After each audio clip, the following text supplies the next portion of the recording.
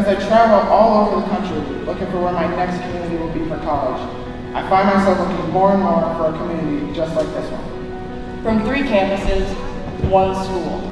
The type of community where everyone knows that they will be supported during their bad times and praised during the good.